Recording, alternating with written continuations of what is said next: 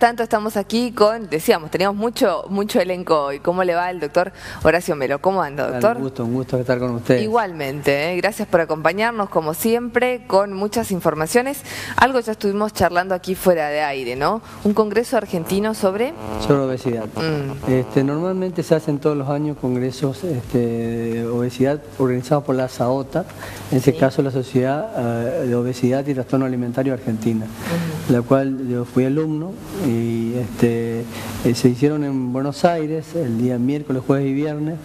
Este, participación de invitados de Estados Unidos, de México, de Brasil, muy interesante porque se fue la experiencia a cada país en tema de obesidad y trastorno alimentario. Y bueno, el mensaje es que cada vez va avanzando eh, mucho más la obesidad y se decía como resumen, también en México tiene una situación similar a la Argentina, que antes el problema era la desnutrición, antes siempre sigue existiendo, ahora se agregó otro problema que es la obesidad, por los gastos, los gastos que implica la salud eh, tanto de la, del país como de la persona que la está soportando. Eh, doctor, se ha mm, estado charlando en estos días también el tema del consumo de la sal, por ejemplo, ¿no? Todas políticas, reducirlo, eh, que tienden a eh, que el Estado pueda prevenir antes que tener que curar. Y justamente que eso es lo que te iba a decir, que la obesidad y la sal, la hipertensión arterial, los accidentes cerebrovasculares están de la mano. Uno va amigo del otro, diríamos, no más amigo, enemigo, por, por los daños que produce. Claro. Y si, le, había leído una publicación de que en la Argentina se gastaron 453 millones de dólares en un año en gastos relacionados con accidentes cerebrovasculares. Y está relacionado con la sal, que vos decías, y con la obesidad, el sedentarismo y la mala alimentación. En Brasil algo similar.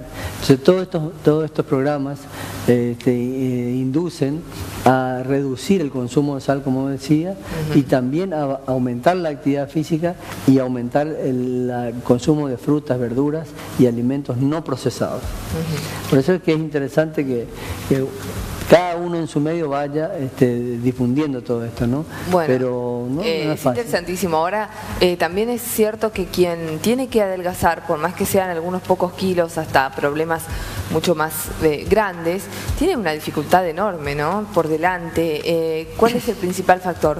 Yo siempre creo que es la voluntad, ¿no? Pero el tema es cómo generar esa voluntad efectiva. Mira, el problema viene de los últimos años, por eso te decía que este, el aumento de las horas de pantalla, ya sea pantalla de televisión, internet, este videojuego en los niños y el poco movimiento, cada vez menos movimiento. Y la comida chatarra también influye. Justamente la comida chatarra, o sea, la comida envasada, procesada, tiene mucha sal. Y eso, está relacionado con la obesidad, no tanto por la sal en sí, sino porque seguramente eh, va asociado a hipertensión y de diabetes. Nosotros hemos traído algunas fotos del, Congreso, algunas conclusiones, que sería interesante pasarlas, porque vamos, a ir viendo este, todos los daños que va produciendo la obesidad. ¿no? Mm. Por ejemplo, bueno, aquí este, puedo este, compartir en este el Congreso de la SAOTA con el profesor mío, que es el presidente de la Sociedad Argentina de Obesidad y Trastorno Alimentario. Bueno, después hay otra foto a continuación, donde está mi hija, que es nutricionista y que está debutando ya, haciendo un posgrado también en obesidad, que se está presentando, así diríamos, en el, tema de la obesidad. Ella es nutricionista y está haciendo este posgrado que lo hice yo hace como 15 años más o menos. Mire, ¿está, está estudiando allá? Está, haciendo el posgrado en esta escuela de la Sociedad Argentina de Obesidad. Este, ¿Volverá a Misiones? ¿La tendremos por quiere, Quiere, volver, quiere. Ojalá que vuelva, pero es decisión de ella. La, mm. idea es que se forme bien en obesidad y vuelva. Bueno, y después hay otras imágenes también de que veíamos el riesgo que implica para la salud mundial, la obesidad, el tabaquismo, todo, son causas prevenibles. Nosotros pusimos, por ejemplo, en un spot ¿Cuáles son las causas prevenibles? Las principales causas prevenibles ¿eh? de la, Organización Mundial de la Salud, enfermedades crónicas no transmisibles. ¿eh? La primera, la primera en el mundo, estamos hablando, es la obesidad. Enfermedad crónica no transmisible. Segundo, la diabetes, que está relacionada con la enfermedad eh, de la obesidad y tercero enfermedades cardiovasculares. Doctor, la obesidad eh, sí es, eh, hay un factor genético, ¿no? Igual. Hay un factor genético, pero más que nada un factor ambiental. Si uno de los padres es, es obeso, el niño o el adolescente va a tener un 40%. Ahora, si ambos padres son obesos, es el 80%. Hay un factor genético bastante importante. ¿sí? Sí. Pero nos preocupaba y nos preocupa mundialmente esto, ¿no? que la obesidad es la primera causa. Y Argentina tristemente está séptima en el mundo en la obesidad. A Oh. Estados Unidos lidera esto. Por eso después también hablaremos de, de qué se trajo de nuevo en este Congreso, si hay algunos productos químicos, algunos productos farmacológicos, porque están de moda, vos viste que como se hablaba en el Congreso que después de las 11, 12 de la noche invaden todos los programas de televisión con productos para adelgazar, para mantener Sí, de forma cierto. definitiva el peso. Todos los canales. Y, y, bueno, eso es algo irreversible. Entonces es, es conveniente saber que, que en Estados Unidos, por ejemplo, no como lidera el, ranking de obesidad, justamente porque no hay ningún producto. Ese es el mensaje. No hay ni un producto que sea definitivo. Lo definitivo es el cambio de actitud frente al alimento y al movimiento. Eso, eso le quería preguntar, el tema de la alimentación. Eh, ¿Cómo aprendemos a comer en nuestra familia influye definitivamente en toda nuestra vida, ¿no? Influye muchísimo. Eh, si la mamá siempre cocinó una gran porción y alentó a la comilona, eh, como nos gusta a los argentinos, porque creo que esto también tiene Claro, que ver, no, ¿no? no, Nos- es encanta comer. séptimo, sí, séptimo puesto. Nos encanta diríamos. comer, juntarnos a comer, eh, siempre en abundancia, ¿no? Y yo creo que eso es nuestra función, de los medios serios, de los médicos que trabajamos sensatamente en esto, de informar a la población de que eh, estas son estadísticas. Después tenemos otros spots también que habíamos eh, preparado con las consecuencias. eh, y aquí fíjate que la obesidad es quinto factor de riesgo para la muerte o defunción. Y otra cosa que a cualquier persona que esté con sobrepeso o obesidad le va a preocupar, que el 41% de los cánceres están relacionados con la obesidad. Vos que triste, 41. 41%. Muchísimo. Cáncer de colon, cáncer de mama, cáncer de, este, de aparato respiratorio.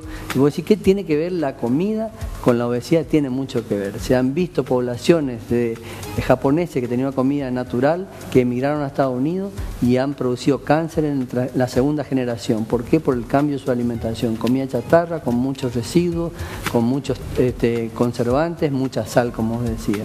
Entonces, esto es un factor de riesgo que tenemos que avisarle a la población de que eh, justamente cuando más comida elaborada consumimos, más este, estamos ingiriendo sustancias que, que pueden producir toxicidad a, a corto, a mediano y a largo plazo. Después tenemos otro, otra diapositiva donde hemos este, también hecho una conclusión, si podemos avanzar, pero justamente eh, hablaba de las causas de defunción en el mundo, eh, muertes prevenibles. eh. El primero es el tabaco, eso ya está mundialmente, por eso bueno, eh, ya no vamos a hablar de ese tema, podemos hablar, pero la obesidad está en segundo lugar en el mundo como causas de muertes prevenibles. O sea que si una persona fuma, este ya está sabiendo el daño que puede producir, pero hoy nos toca de la obesidad. ¿eh?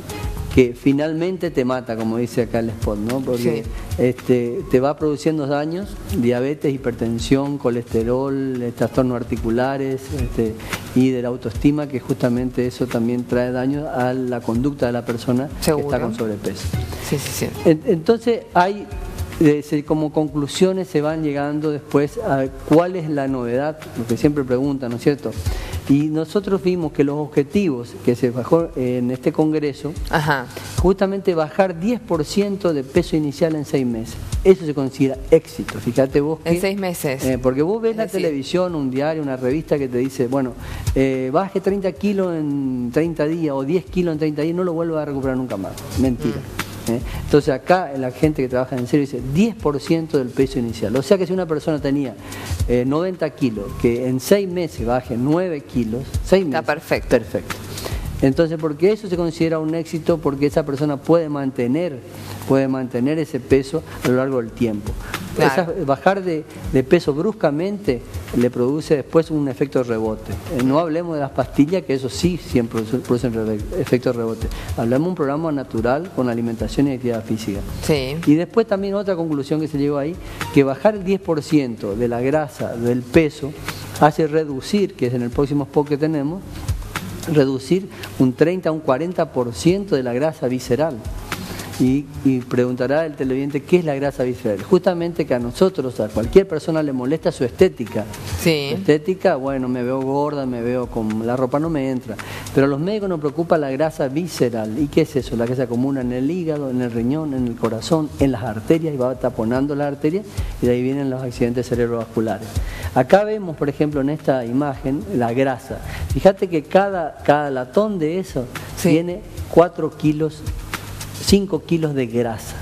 Y perder, porque como te decía, en 6 meses, en 9 kilos sería un latón, casi dos latones de esto, de grasa, que está distribuida en todo el cuerpo, en las vísceras, en la piel, en, en, los tejidos subcutáneos, pero eso es lo tóxico para el cuerpo. Por eso que justamente se habla de 10% son 30% en las vísceras, que eso es muy importante para la persona, para la calidad de vida que pueda tener en su futuro y los accidentes cerebrovasculares que son los que más tenemos que prevenir con estas terapéuticas. ¿no? Bueno, qué interesante, doctor. ¿eh? La verdad y después había, creo que al final, eh, bueno, eso es lo que habíamos hablado, Ajá. 10%. Ahí está. Y después, justamente decía, bueno, ¿cuál es el uh. mensaje? ¿Eh? Fíjate vos sobre todo para personas que tienen más de 40 o 50 años, ¿cuáles son los consejos sí. Eh, para vivir 100 años? ¿no? Todos quisiéramos, ¿no? pero comer la mitad, después de determinada edad, hablamos siempre 40 o 50 años, comer la mitad, masticar el doble, caminar el triple y reírse el cuadro. ¿Te das cuenta? Está bueno. Y también la, el, de productos nuevos, adelgazantes, no existe ninguno. Se habló de un producto que va a salir al mercado ahora, dentro de pocos meses, que actuaría a nivel del intestino, reduciendo la absorción de grasas, pero su efecto es coadyuvante de la alimentación y la actividad física. También hay una droga llamada Listat que, que, está usándose en el medio, que, que, reduciría la absorción de grasa, pero tiene efectos colaterales que puede producir diarrea. Por lo cual hay que usarlo con mucho cuidado y en casos muy seleccionados. Ajá. Bueno, doctor, la verdad que ha sido un placer escucharlo.